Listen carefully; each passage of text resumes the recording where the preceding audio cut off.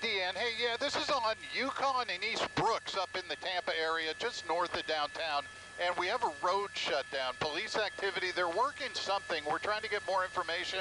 We just want to give you a heads up that if you're driving in this area, they have this little section of road shut down, and right under that tree, there's a vehicle within the police tape. So you just want to avoid the area, Yukon and Brooks, as Tampa police are working some kind of activity, and we'll have more for you coming up once we get the information. Back to you.